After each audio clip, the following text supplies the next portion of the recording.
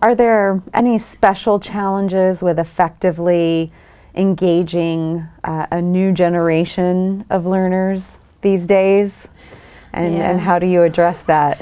I think it's replicating the every everyday world experiences that, that they have and love into their workplace experience. Because what I find today about young people is that they're not as interested in drawing a line between their personal and work life as earlier generations. They want to be much more engaged and they want to be able to contribute and make a difference early on. And I think we should appreciate that about them and really do something to, uh, special for them.